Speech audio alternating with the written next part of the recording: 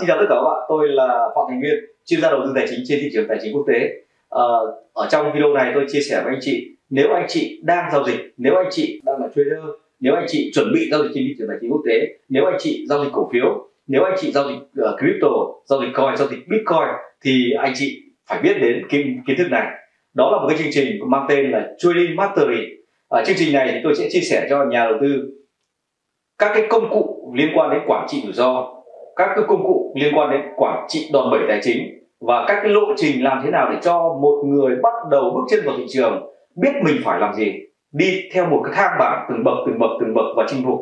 Và làm thế nào để sau 6 tháng để biến từ một người chưa biết gì thành một nhà đầu tư chuyên nghiệp, làm full thời gian.